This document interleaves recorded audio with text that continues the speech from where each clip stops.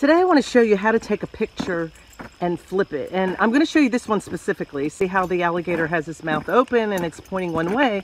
Well, I was making some index cards for my third grade class and I wanted to show them comparing. And a lot of times when kids are younger, you say, when the alligator opens up his big mouth, that goes to the big number. Well, I couldn't find one pointing the other way, so I went into my trusted Canva account and found out that I can do that. And it was so exciting. So I'm going to show you how to do that today. Let's head over to Canva. I want you to type in www.canva.com and when you get in there you're going to hit create a design now what i'm doing is i'm designing some cards in-text uh, helper cards for my students as I, I, told you earlier and i'm just making them seven by five the size of a large index card so the parent can print them off and put them right into the box this is my custom size, um, so I say 7 by 5. I've already done it. I wanted to show you right here, this was the end result of what I made. These little alligators, like I said, I could only have him face this way when I found him online. All right, let's go back to the one we're creating. I uploaded my picture, and I'm going to get that for you again.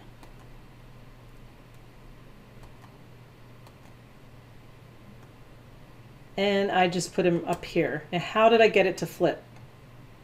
See right here, once I put the um, picture in there, there's the word up here, it comes up. You can edit the image, you can crop it, or you can flip it. So you just click that, and you can flip it vertically or horizontally. Look at that. I've got the same picture and it flipped horizontally. Now, again, you could also flip it upside down. We want it to go horizontal. It's that easy. Now we're going to flip it back and horizontal. Now, to bring in both pictures on the same screen, I just brought the other one back. It's that easy.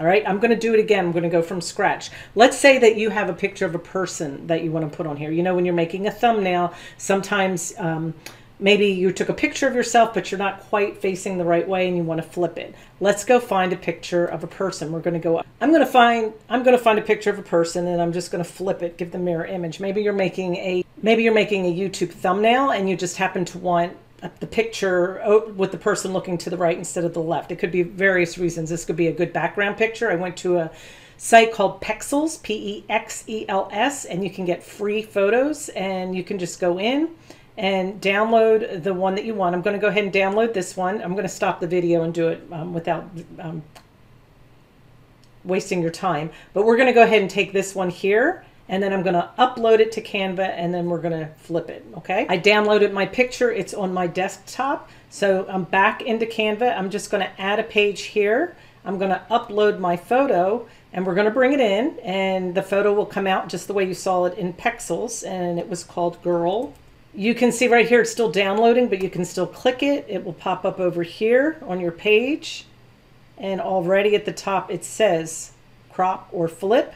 We're going to flip it and we're going to um, flip it horizontally. And as you can see, she shows up on the other side. That's it. It's that easy. So for some reason, like I said, you might want, uh, you might even want a dual picture um, where you have both of them looking at each other where it looks like twins. But there you go. You have a, your, go to Canva. There's a free trial right below where you can go ahead and use all these uh, uh and there you go. That's it. Easy peasy. All right, guys, thanks for watching. I hope you get to use this lots and lots. I know I will. Uh, don't forget to give me a thumbs up. Let me know how you like the video, and I'll see you on the next